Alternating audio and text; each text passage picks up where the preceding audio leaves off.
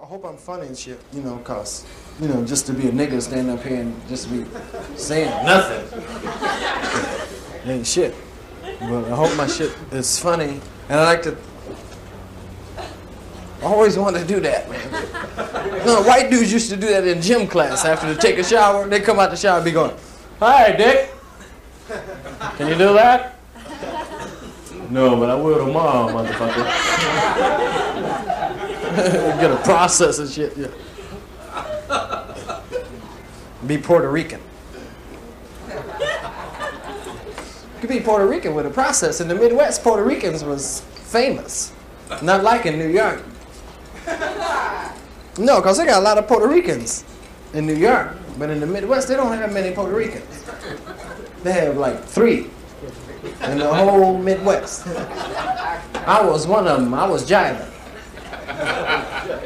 But I had my shit together. Mogemonia one ended the other end of it open, so got some pussy too. Only thing that gave me up when I was coming. Oh shit! That's not Puerto Rican.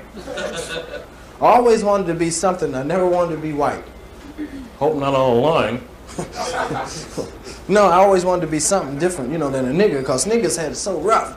I tried to be, you know, a black cat with neat hair. I thought that was the problem, the hair. I said, if my hair was straight, then Whitey did me.